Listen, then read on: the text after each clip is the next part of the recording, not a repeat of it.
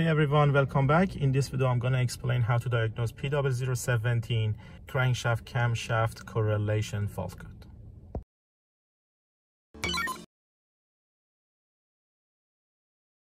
Uh, very quickly on this engine, I'm going to explain what this code is about. Then we start testing every components one by one. So basically when you install the timing chain after removing the camshaft, crankshaft, or even after replacing the timing chain itself, Uh, you have to adjust the timing properly between the camshafts and crankshaft. That adjustment is something mechanical between the crankshaft and camshaft that you need to do every time that you want to install the chain back on. But what happens on some engines like this one, in addition to the mechanical timing adjustment that you do at the very beginning, we have another mechanism that we call it variable valve timing. So when we have this mechanism, when engine is running, in addition to what you adjusted on the timing system at the very beginning, ECM can change the valve timings accordingly to increase the engine output torque based on different engine driving condition. So on some early models, we used to have only one variable valve timing, uh, or what many companies call it VVT. Basically, if we have one VVT mechanism, it's going to be on the intake valve. But some engines like this one, this engine is a dual VVT engine. So it does have one VVT for intake and one VVT for exhaust uh, camshaft. But how this system works? This system works basically by engine oil. For each VVT, there is a VVT solenoid valve, which is this one. VVT solenoid valve provides the engine oil for VVT mechanism itself. So anytime that ECM wants to activate or change the valve timing, it's gonna activate this solenoid valve. And right here, we have some oil passages uh, by activating this one, engine oil can get into the VVT mechanism. And inside the VVT mechanism, we have two chambers. One chamber for advance, the other chamber for retard. So basically, when ECM wants to advance the valve timing, is going to adjust the VVT solenoid to provide the oil uh, on advance chambers.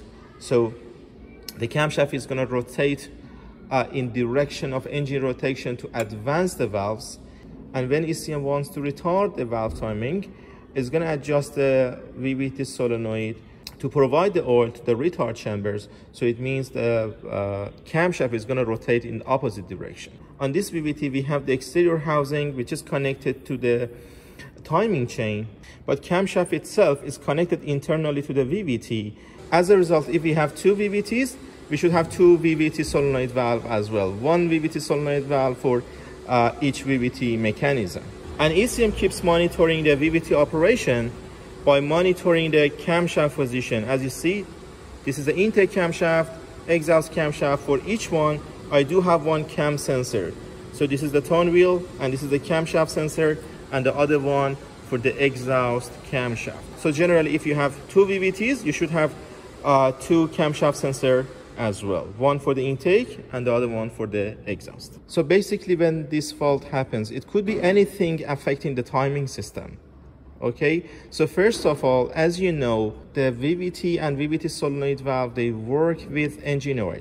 So if you haven't replaced the engine oil for the long time, you have to replace the engine oil because over the time, oil sludge is going to get around the VVT solenoid and it's going to get into the VVT mechanism itself and it's going to make some problem for their operation. If you have this code, as soon as you see the code, just check the engine oil. If Engine oil hasn't been replaced for a long time. You need to replace the engine oil. That's, that's very important. But if there is nothing wrong with the engine oil or if you have replaced the engine oil and you still have the problem, you may need to start diagnosing on uh, VVT solenoid and step by step you're going to go for the VVT and timing chain.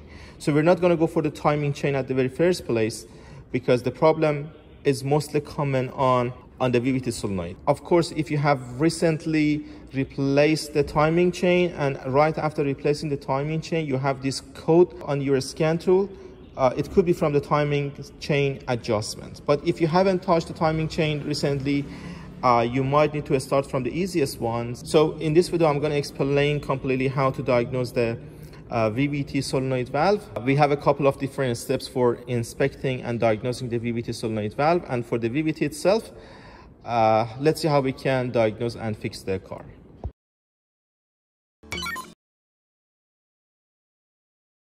Because this fault code is referring to the exhaust side, we need to focus on the exhaust VVT solenoid and exhaust VVT itself. Here's my exhaust VVT solenoid valve. So what you need to do, you need to inspect the connector first. Make sure connector is seated properly and it's not loose. Take the connector out.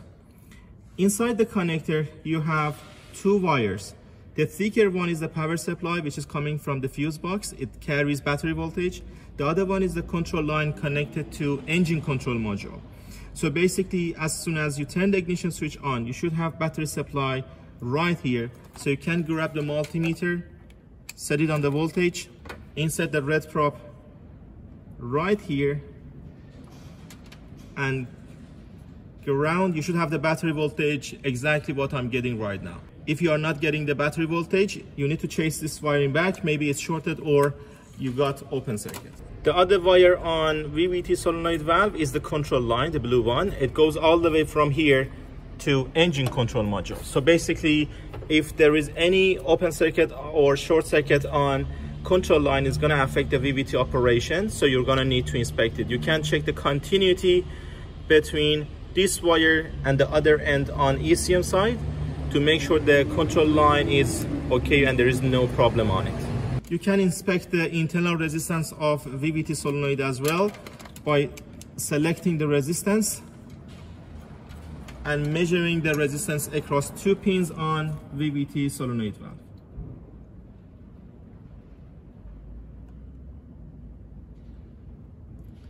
So as you see, I'm getting 7.8, 7.7, which is completely okay. This measurement confirms that the internal winding of solenoid valve is okay. So of course, it doesn't confirm that the VVT solenoid is okay completely because there could be some mechanical problem or the oil sludge around the valve. So I'm gonna need to remove it. But if this measurement is something really high or really low, it confirms that the solenoid valve is faulty and you can just order the valve straight away. To confirm the VVT solenoid mechanical operation, disconnect the connector and apply battery positive and negative on the valve, which is going to cause engine hesitation. So after applying the battery positive and negative, engine must hesitate or stop. This confirms that VVT solenoid valve is operating properly. Let's go for the next step to remove the valve and see how it can test it. So here is the exhaust VVT. I'm showing you how to remove and inspect it on this engine. It's gonna be much easier for you guys to see how it works. But basically the procedure is the same on engine as well. All right, all right, let's remove it very carefully.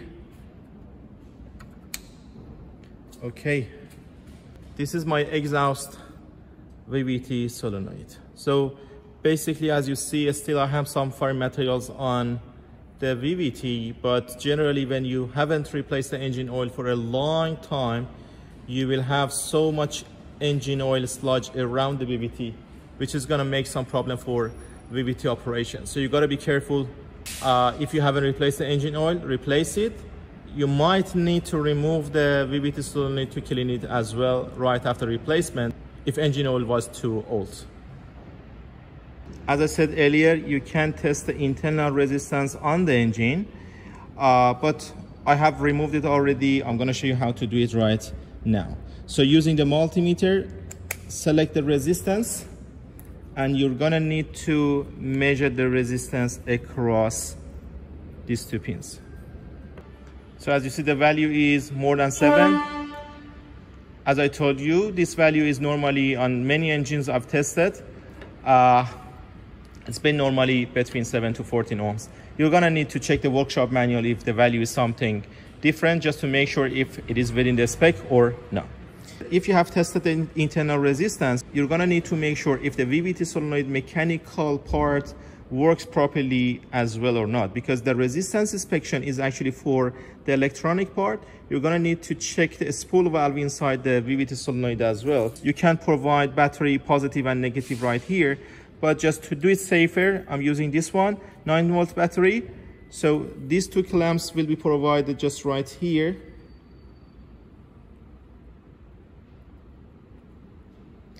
And you're gonna need to just turn this one on. When you keep turning on and off, on and off, you need to make sure that you hear clicking sound uh, from the VVT solenoid.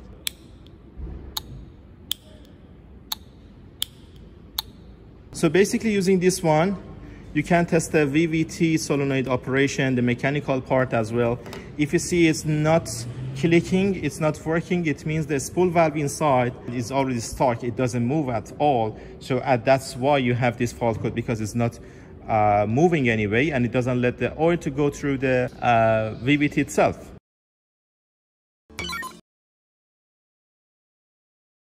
So if you have the scan tool, I'm gonna show you how to test the VVT solenoid operation by the scan tool. So I have already connected my scan tool to OBD2 connector.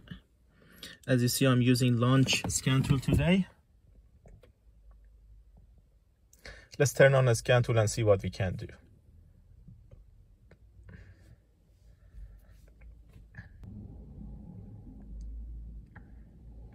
My ignition switch is on. So I need to select the car first. As you see, it's a Toyota.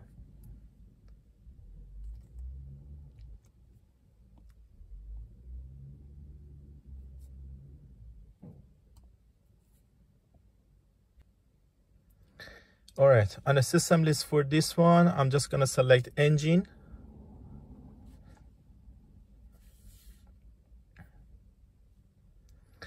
Uh, you have a couple of options here for reading the code, erasing the code, read freeze frame, uh, reading the live data, actuation test, and a special function. So I'm gonna need the actuation test. So go for the actuation test.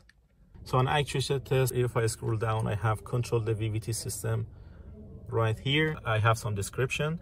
So this system is gonna force the VVT to operate uh, by actuating the VVT solenoid valve. So if that happens, I will have the rough idle or engine may stall. If you have the rough idle or engine stops, it means the VVT is functioning properly. But if you perform the test and nothing happens, it means there is something wrong on, on that VVT.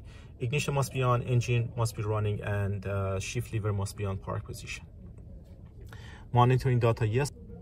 So for monitoring data, I can select engine speed. And if you go all the way down you can select the DUT on VVT exhaust and intake. And right here you see the engine RPM control of the VVT is off. We are trying to make it on. So as as soon as you press the on button you you will feel the engine goes rough or engine will stall okay if any of these two happens it means the VVT is functioning properly if it doesn't happen, it means the VVT is not functioning. That could be from the VVT solenoid or VVT itself that I explained uh, in the video how to test them. Let's try it. Let's press on and see what's going to happen.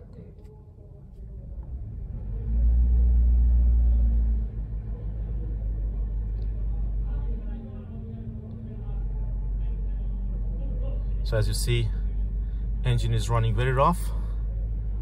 If I turn it off,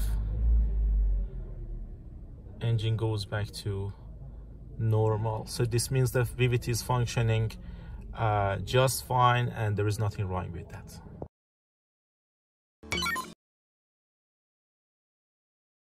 For this fault code you might need to check the crankshaft position sensor as well because basically this code is for uh, crankshaft and camshaft correlation but basically, if the crankshaft sensor is faulty, you may have some other problems like too long cranking before starting or sometimes no starting at all. But if you have checked the timing system, you still have the problem.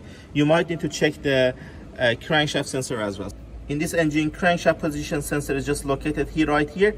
At the front side of the engine, some engines, they have this, this sensor on the rear side. So check the connector properly, make sure wires behind the connector are okay. The connector itself is not loose is not broken. And for the sensor itself we're gonna need to measure the resistance of the sensor to make sure it's okay. And I'm gonna show you how to do it.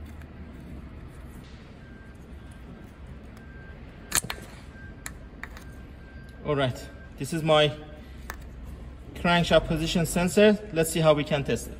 For testing the crankshaft sensor you can use the multimeter adjust it on resistance and you can measure the resistance across these two pins.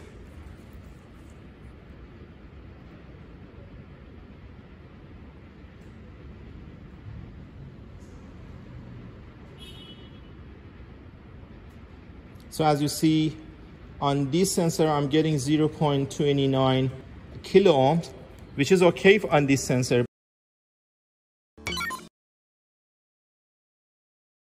You might need to inspect the camshaft position sensor as well. Same story, you're gonna need to check the connector. If you have the fault code for, for the intake camshaft, you're gonna need to check the camshaft sensor only on the intake side. If you have the fault code for exhaust camshaft, you're gonna need to check the fault code only for the exhaust side. Okay, you don't you don't need to replace both camshaft sensors or inspect both camshaft sensors. So you need to check the connector, make sure the connector is seated properly, there is no dirt, no contamination. This gap between the sensor and the tone wheel is really important. If it is too close or too away from the tone wheel, sensor is not going to pick up the reading. Depends on the type of camshaft sensor. You might be able to inspect the internal resistance as well. So for that, you need to check the workshop manual, see what is the value for internal resistance of the sensor, just like what I did on crankshaft sensor. If you have the value from the workshop manual for inspecting the internal resistance of the camshaft sensor, you can do the same thing. If the, if the value is not correct, you're gonna need to replace the cam sensor accordingly.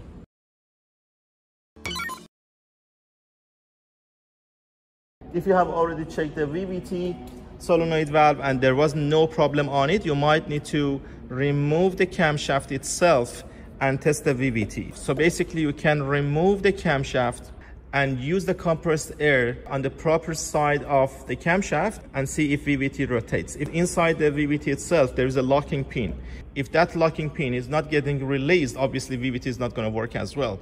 If you apply the compressed air and still VVT doesn't rotate, you have to replace the VVT mechanism itself. If you have checked the solenoid, it was okay, and uh, VVT was okay, you might need to redo the timing adjustment because the problem could be from your timing adjustment initially, or you might need to change the timing chain or timing belt.